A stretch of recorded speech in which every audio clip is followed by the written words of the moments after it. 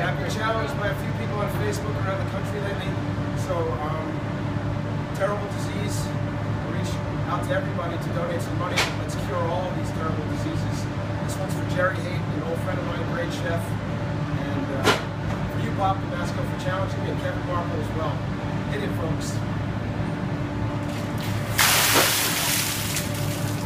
Awesome. now, I challenge Nancy Nichols and Leslie Brenner to take the Ice Bucket Challenge. Have a nice day.